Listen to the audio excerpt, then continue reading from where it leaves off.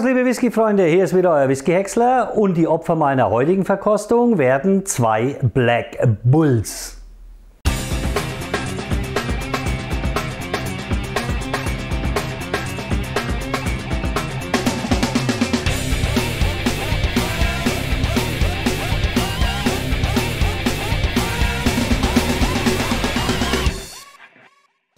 Black Bull, hm, da haben wir wieder was Interessantes ausgegraben.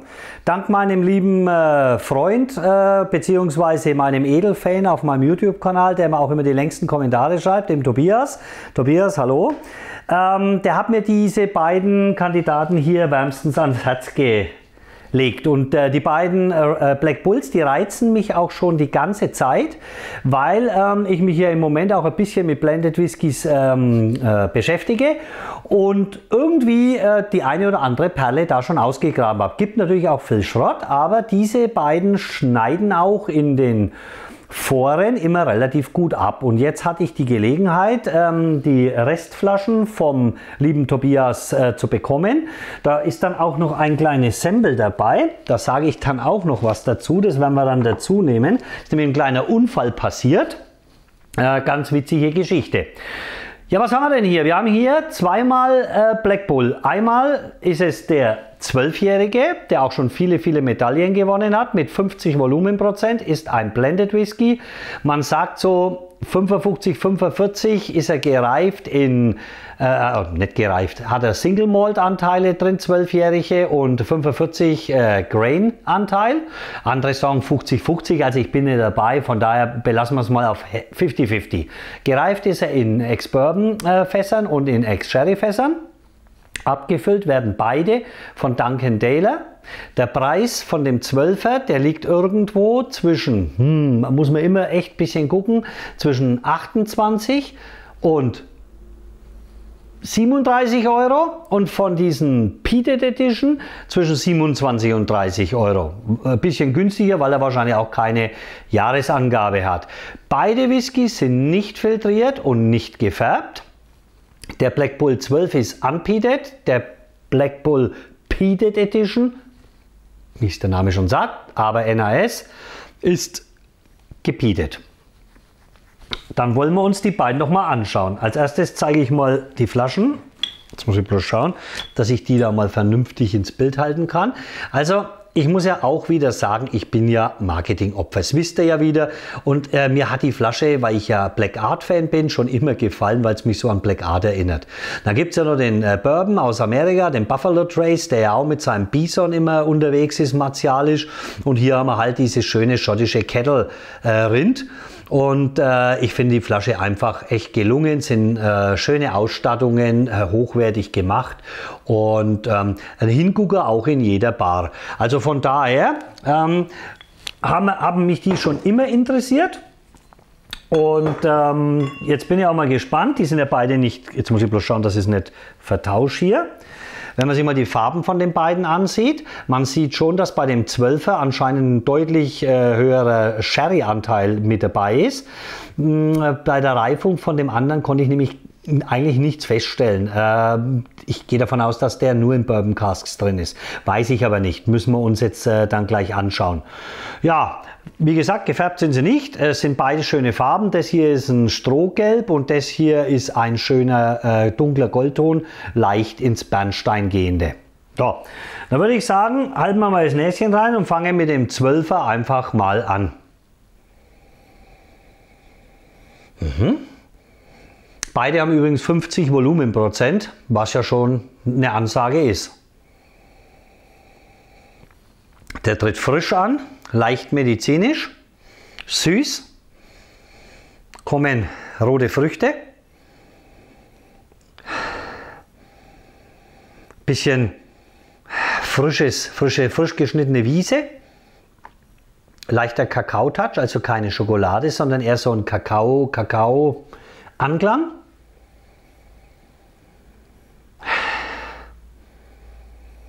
Honig. Ja, und da hast du ganz leicht frische Kräuter. Und das war er dann aber auch.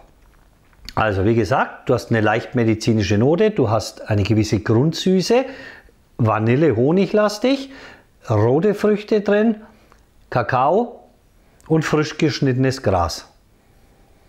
So am Fußballplatz, wenn es frisch be beregnet ist. Dann würde ich sagen, probieren wir den mal.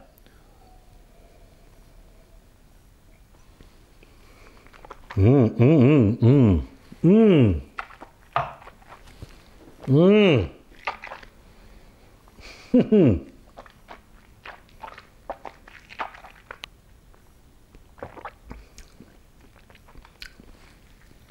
Weich und mild? Nein. Würzig, voluminös, süß, Sherry-Aromen, Trockenfrüchte, Obstkompott mit einem Schuss Sahne drin, Roggen, Malz, ganz leichte Schärfe entwickelnd und richtig gut. Tobi, kann ich dir nur sagen, und auch allen anderen, die den verkostet haben, der hat einen guten Geschmack. Richtig, richtig lecker. Und was mir sehr gut gefällt, trotz dass da 50 oder 45 Prozent Grain-Anteil drin sind, ich habe keine Bitterkeit. Ich kriege nicht dieses typisch Grain, dieses hafrig bittere, kriege ich hier nicht raus. Also wenn du mir blind hingestellt hast, äh, wäre ich wahrscheinlich nicht direkt auf ein ähm, ja, Blended Whisky gegangen. Hätte ich schon gesagt, das könnte auch äh, ein, ein Single Malt sein. Also da ist schon ein hoher Anteil drin meines Erachtens und die zwölf Jahre, die tun dem auch gut. Jetzt nehmen wir uns einmal den anderen, den Pepided Edition. Ja, okay, der riecht ganz anders, ja, da kommt auch sofort ein ledriger, speckiger Rauch, dezent, mit einer schönen Salzigkeit. Erinnert mich fast ein bisschen, mm, an mein Lecek. Bisschen medizinisch, jetzt kommt aber irgendwas Fauliges durch. Kräuternoten, deutlich. Geröstetes Karamell. Und ein Rocken Vollkornbrot. Und wenn überhaupt eine Frucht, dann würde ich sagen, neben diesen Dörr-Sherry-Früchten äh, kommt so frische Äpfel mit raus. Also die Nase finde ich von dem sehr lecker, das muss ich jetzt echt zugeben. So, der erinnert mich auch ein bisschen von der Nase her an den Old Balendron 10 Jahre, den ich neulich euch auch empfohlen habe. Nur, dass der deutlich günstiger ist hier. Ja, ja. Ganz dezenter Rauch und, und wirklich so ein speckig, dreckiger Muffrauch mit einer schönen Salzbrise und einem Kräuteraroma. Gerüstetes Karamell, frische Äpfel. Also, ich verkoste auch den.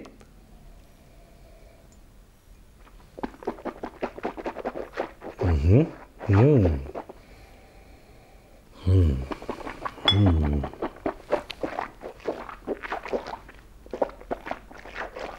Mhm. Mhm.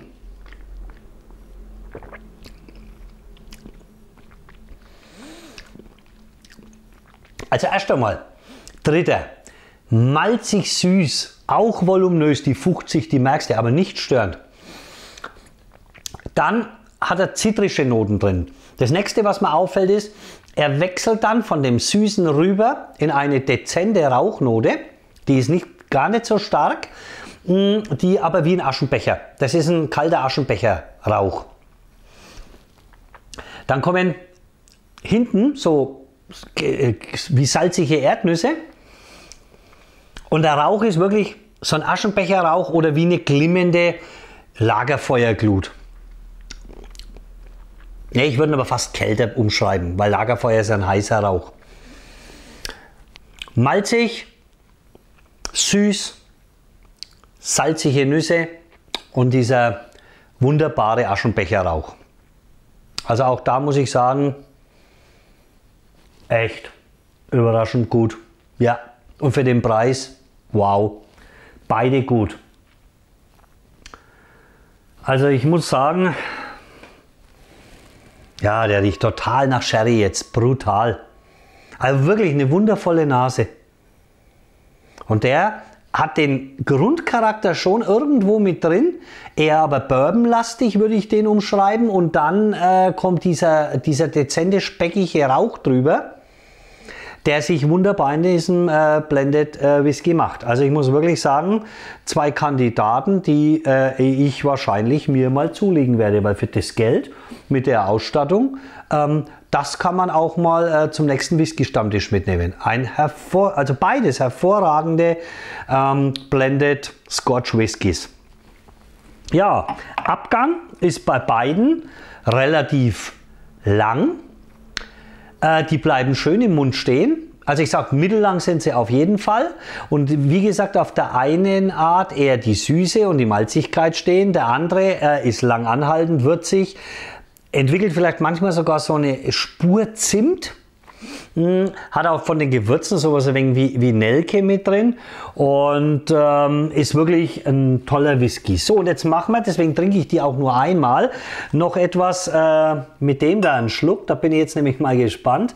Ich weiß jetzt nicht welcher, ich werde es aber gleich merken, wenn er rauchig ist, wie der liebe Tobias äh, mir diese Whiskys umgefüllt hat, ähm, hat er sich natürlich die anderen oder den Rest seiner Flaschen, weil er mir super lieb, danke nochmal Tobi, äh, die Flaschen zur Verfügung stellt, damit ich das Video drehen kann, hat er sich die umgefüllt in andere Flaschen, hat dann eine wunderbare Tonflasche genommen, äh, die er gedacht hat, die ist ähm, leer und äh, hat ein wenig übersehen, dass da noch ein bisschen Met drin war. Und jetzt hat er mir ein Sample abgefüllt von einem ähm, Black Bull Met Finish. Ähm, werde auch mal als äh, Spaß und als komödiantischen Teil den auch nochmal. Es müsste auch der normale 12er sein, weil der riecht jetzt nicht rauchig. Ja, und da kommt auch eine ganz andere Note, da kommt so eine, so eine äh, äh, Metnote schon rüber. Jetzt trinke ich nicht so oft Met, aber ich bin mal gespannt also auf euch, meine Lieben.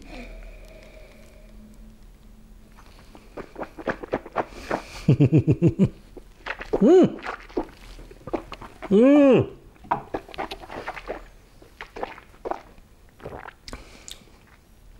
Der geht auf den sowieso schon süßen Black Bull nochmal drüber und haut dir nochmal dieses Met einmal quer durch die Geschma Geschmacksknospen und als allerschönstes dann zum Schluss äh, zieht er dann aber die Süße wieder runter, da kommt viel mehr von dem Fass, von der Bitterkeit dann durch. Also auch das, schönes Experiment, ist zumindest nicht verhunzt, wenn du auch äh, jetzt einen anderen Whisky in deiner Tonflasche hast. Naja, so what. Also meine Lieben, ich hoffe es hat euch äh, Spaß gemacht. Ich kann euch eine Kaufempfehlung aussprechen für beide Kandidaten. Sehr, sehr leckere Blended Scotch Whiskys und ähm, auch nicht teuer. In einer schönen Ausstattung mit tollen Eckdaten, nicht gefärbt, nicht filtriert. Ähm, beide 50 Volumen Alkohol, also wirklich, da können sich einige Single Malls echt eine Scheibe abschneiden. Tolle Empfehlung, äh, lege ich jeden ans Herz. Kann man immer daheim haben. Wenn euch das Video gefallen hat, dann sehr schön Daumen nach oben und wie immer gerne ein Abo dalassen. Ansonsten verbleibe ich wie immer Raise your horns, stay hard und slangema. Bleibt mir gewogen. Bis nächste Woche, euer Whisky Häcksler. Haut rein.